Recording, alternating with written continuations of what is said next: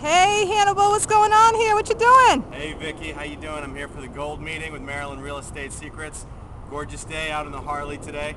Doesn't get much better than this. Wow, you drove here on your Harley this morning. You didn't want to miss this meeting, did you? Oh, I couldn't beat it. I couldn't beat it. Wow, so- always got time for this. Awesome. So what do you have going on with real estate? You just mentioned something to me. Well, I bought a bought a house last week Okay. that I brought for the group tonight. I'm trying to wholesale Okay. up in Takoma Park. All right. And I've got another house we looked at this morning in Chevy Chase.